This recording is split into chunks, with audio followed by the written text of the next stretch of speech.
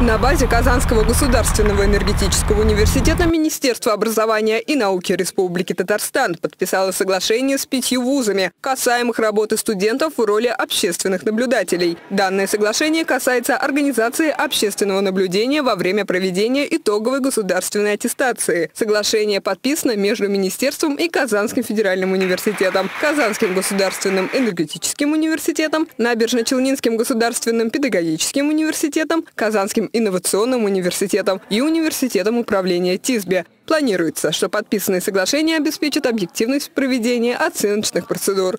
Адель Шамилова, Ленардо Влетьяров, Универньюз.